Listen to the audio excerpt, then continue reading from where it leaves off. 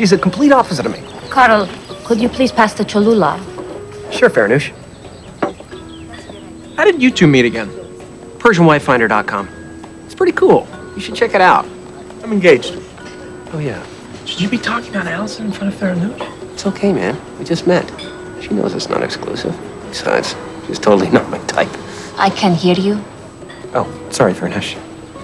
Anyway, I never would have met Allison if I hadn't said yes to the homeless guy. You also wouldn't be on a blind date with a strange Iranian woman. No offense, Farnoosh. None taken.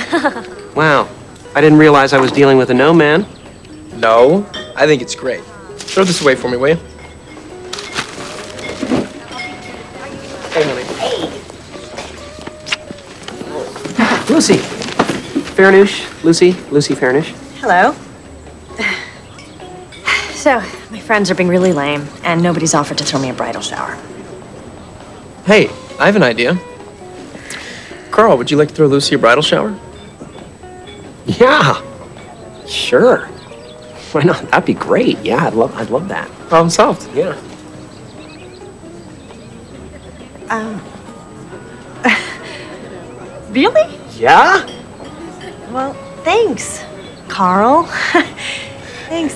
That's really sweet.